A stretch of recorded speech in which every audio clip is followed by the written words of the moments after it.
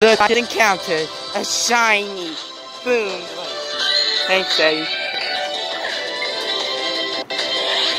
It was a shiny. Whoa, that's. Wait, you encountered that just now? Yeah, Yeah. Let's see, which combat power is it?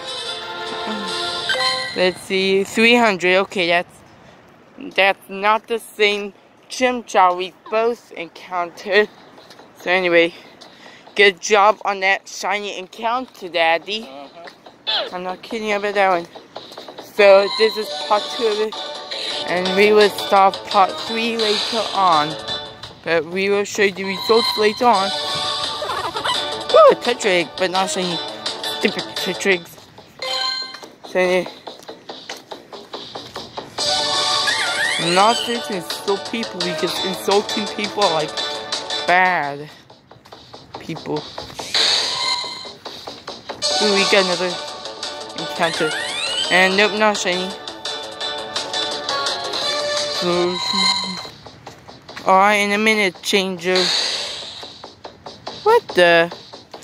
How is this guy's going here? Yeah, second.